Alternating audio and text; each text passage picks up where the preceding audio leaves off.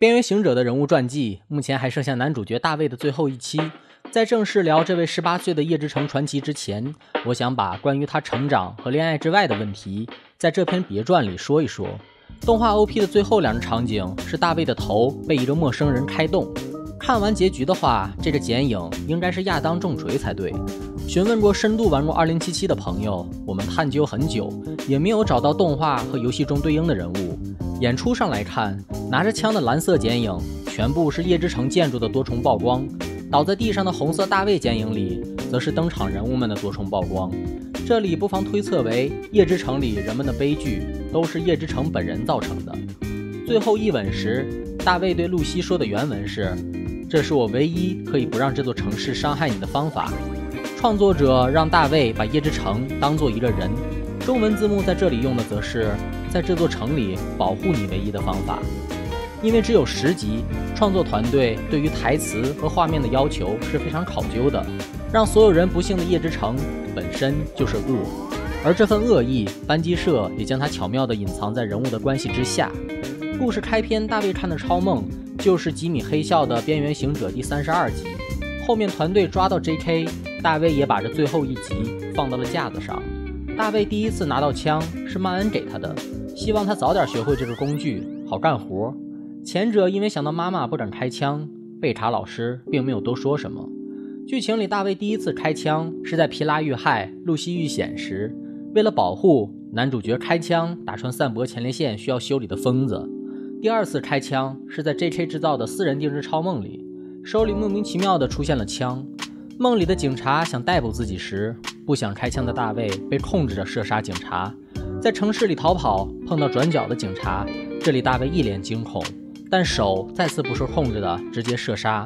第三次出现警察开始说大卫是赛博精神病，这里大卫的眼睛第一次出现震颤现象，也在这个超梦里使用了斯安维斯坦。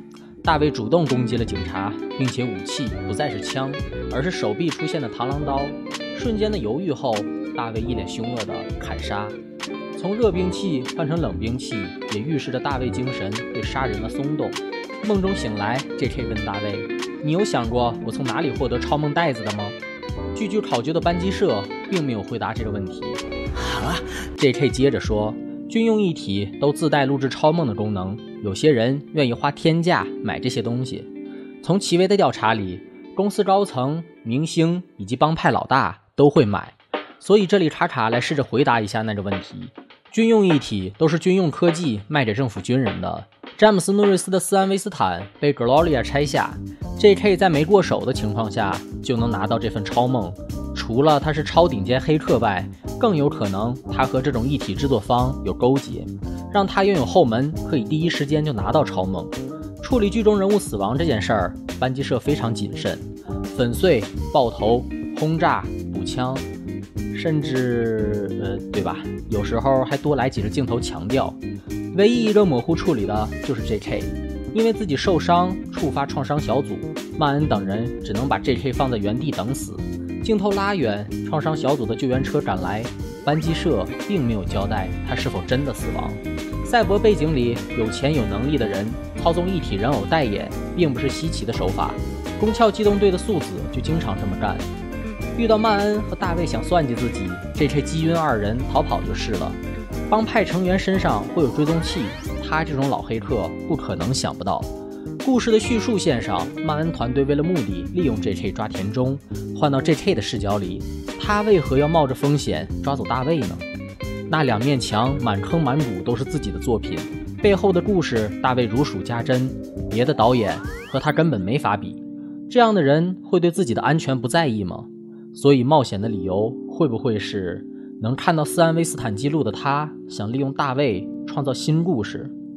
和医生对大卫的体格感到吃惊不同，J.K. 对大卫说的话斩钉截铁：“你一定会变成赛博疯子，再和暴恐机动队对阵上几次就会了。”被多利欧和露西发现，以及被抓后，他都云淡风轻。私人定制需要和客户见面，他面对的都是夜之城最危险的人。贩卖的东西某种程度上涉及到企业机密。面对这些人都能全身而退的 J.K.，偏偏死在还名不见经传的曼恩他们这里。在原作《赛博朋克2077》中，夜之城的市长和下任竞选市长都有被神秘人监视的细节，甚至记忆都是别人制造的。所有发生在这座城市的故事，每一幕都好像他拧上发条，然后看着玩具们表演一样。班机社表示和 CDPR 的合作尚未结束，CDPR 表示边缘行者的故事已经完结。是啊，就像那个货架展示的一样，Age Runners 的故事结束了，但在赛博朋克的世界观下，夜之城里的悲剧还在上演着。边缘行者后面带字标题早就定好，It's a live note。或许下次再见时，又有哪个想成为夜之城传奇的心被某个导演相中。蛊惑走进坟墓，然后成为我们不眠夜里的眼泪吧。视频封面我有标题党吗？